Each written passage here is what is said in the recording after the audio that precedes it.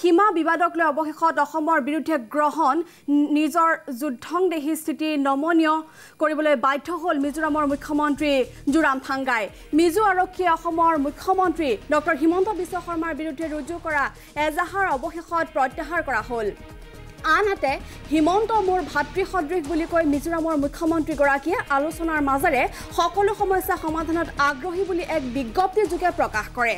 যোৱা ছাব্বিছ জুলাইত মিজোৰাম আৰক্ষীৰ বৰ্বৰ আক্ৰমণত অসমৰ ছয়জন আৰক্ষী জোৱান শ্বহীদ হোৱাৰ পাছতে চুবুৰীয়া ৰাজ্যখনৰ বিৰুদ্ধে কৌশলগতভাৱে কঠোৰ স্থিতি গ্ৰহণ কৰি অসম চৰকাৰে অসমবাসীক মিজোৰাম ভ্ৰমণ নকৰিবলৈ সকীয়াই দি জাননী জাৰি কৰিছিল।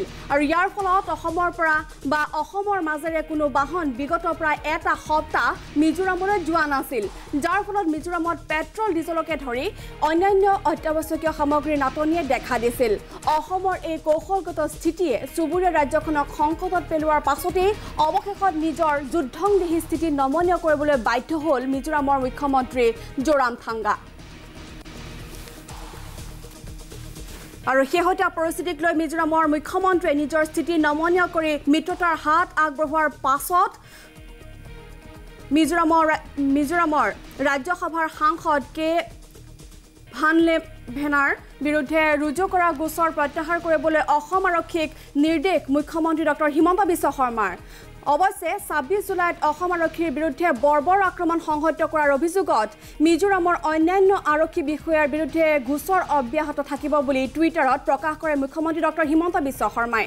চুবুৰীয়া মুখ্যমন্ত্ৰীগৰাকীৰ নমনীয় স্থিতিক আদৰণি জনাই অসমৰ মুখ্যমন্ত্ৰীগৰাকীয়ে কয় যে চুবুৰীয়া ৰাজ্যসমূহৰ সৈতে থকা সীমা সমস্যাৰ ক্ষেত্ৰত অসমে সদায় শান্তিৰ পোষকতা কৰে। মিজোৰামৰ মুখ্যমন্ত্ৰীৰ লগত মই যোৱা তিনিদিন আগলৈকে সঘনাই টেলিফোনত মই কথা বতৰা পাতি আছোঁ। আৰু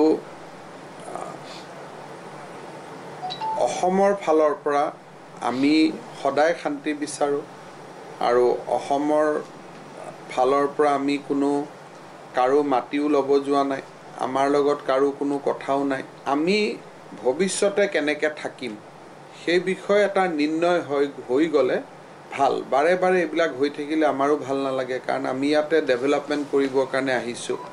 আমি ইয়াত বিকাশৰ কাৰণে আহিছোঁ। গতিকে মোৰ কথাটো হ'ল যে এবাৰ কেন্দ্ৰীয় চৰকাৰৰ লগত বহি অহা সময়খিনি আমি কেনেকৈ থাকিম এবাৰ নিৰ্ণয় হৈ গ'লে তেতিয়া তাত অসুবিধা একো নাই। গতিকে যদি কেন্দ্ৰীয় চৰকাৰে এই ক্ষেত্ৰত কিবা আগভাগ লয় অসমে ডেফিনেটলি আলোচনা কৰাটো আমাৰ কোনো সমস্যা নাই। আমিতো সদায় কথা বতৰা পাতি থাকোঁ। I think I have I was in touch with mister Zoramthanga last three days or four days till four days back he said that Himanta I will talk once my quarantine is over So definitely if there is any issue he will call me because I call him not less than uh, 18 to 20 times from 26th. On the day of 26, probably I call him not less than 12 times.